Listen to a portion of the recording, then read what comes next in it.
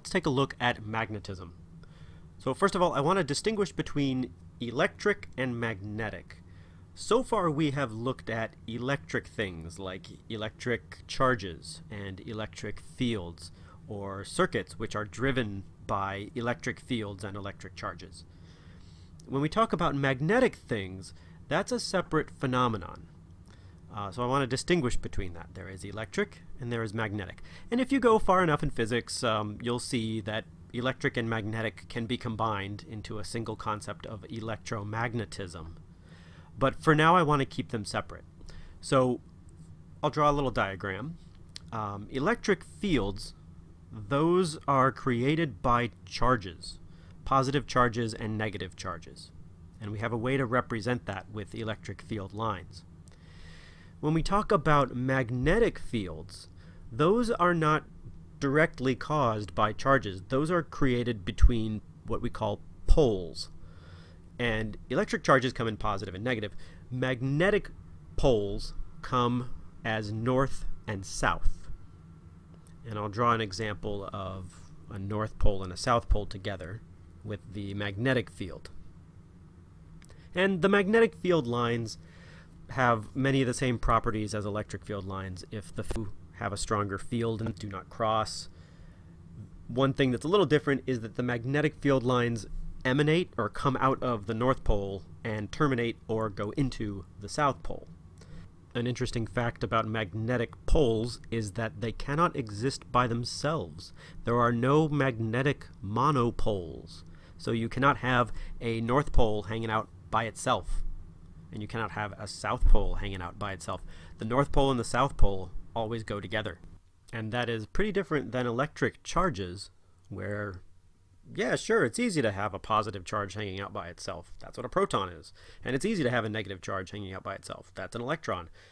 But there are no such magnetic monopoles that we know of.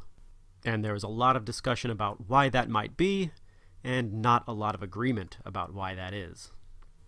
But anyway, that's getting a little bit beyond what we want to talk about. So where do these magnetic fields come from? Well, magnetic fields are created by charges in motion. Charges in motion create magnetic fields. Uh, we've already seen charges in motion. If you have charges moving along a wire, we call that a current. So a current will create a magnetic field. Well, how are the current and the magnetic field related? I'm going to draw a diagram of that, and I'm going to use a couple symbols that you might not be familiar with. The circle with a dot, that means directed out of the page. And the circle with a cross, that means directed into the page. So if I have a current over here, that symbol means that the current is directed out of the page. So imagine a wire that is coming out of the page or screen directly toward you. That would be carrying a current directly toward you with this circle and a dot. And in that case, the magnetic field around that wire would look like this. Goes around counterclockwise. And you notice that the magnetic field lines get further apart from each other the further away from the wire I go. So the magnetic field is weaker further away from the wire. All right. Now let's draw the magnetic field around a current that's going into the screen. If I do that, it looks like this. The magnetic field is clockwise around that wire, and it's stronger closer to the wire and weaker further away from the wire. So why is the magnetic field that way, or how did I know that? Well, there is a rule to determine the direction of the magnetic field near a current, and it is called the right-hand rule or rather a right-hand rule. It turns out there's multiple right-hand rules. So just keep in mind, you're going to see more right-hand rules in the future. The current one is the right-hand rule to find the direction of the magnetic field near a current. So the way that I do this, and there are different ways to explain how to find this, but my method is I place my right thumb in the direction of the current. Then I take the fingers of my right hand and I place them at the point where I want to know about the direction of the field. And if I do that, then the magnetic field is directed out of my palm. So this seems like a bunch of weird magic mystic stuff, right? I'm taking my right hand and I'm moving it in certain ways. It seems like a strange way to do physics. But it works. And honestly, it's not the physicist's fault. This was actually devised by mathematicians.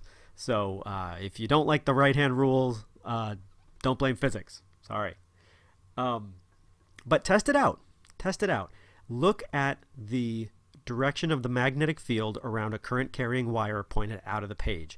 If you put your thumb in the direction of the current, your right thumb in the direction of the current, so your right thumb directed out of the screen, and then if you put your fingers where you care about the magnetic field. So let's say we care about the magnetic field on the left side of the wire.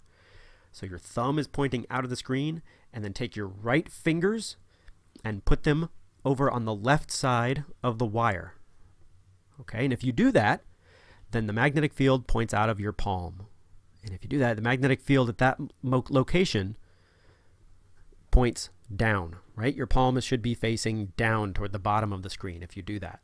That's the direction of the magnetic field at that location. Now, if you cared about the direction of the magnetic field on the right side of the wire, you have to move your hand around. Your thumb still points out of the screen, but now put your fingers on the right side of the wire. If you do that, then your palm now faces toward the top of the page, and that's the direction of the magnetic field on that side. So it takes a little bit of practice, and you may feel silly and awkward when you do it at first, but it works. And the last thing that we need to say about magnetic fields is that they are vectors. Um, and if you want to find the total magnetic field at a location, you would take the vector sum of all the individual fields. So I'll draw a little example of that. I'll say I have two wires directed out of the page next to each other. If I wanted to find the magnetic field at a point halfway between them, I would have to find the magnetic field from one wire at that location and the magnetic field from the other wire at that location. And then I'd have to add them both up to find the total magnetic field. And in this situation, if I have two identical currents flowing out of the page, halfway between the magnetic field would be zero.